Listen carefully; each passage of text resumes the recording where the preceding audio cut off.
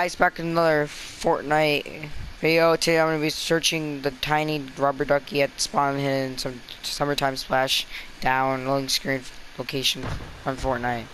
Apparently it's whoever gets it first gets it. And I just got it so make sure you guys do drop a like and subscribe. I would appreciate it. Just stay tuned for more. Peace guys.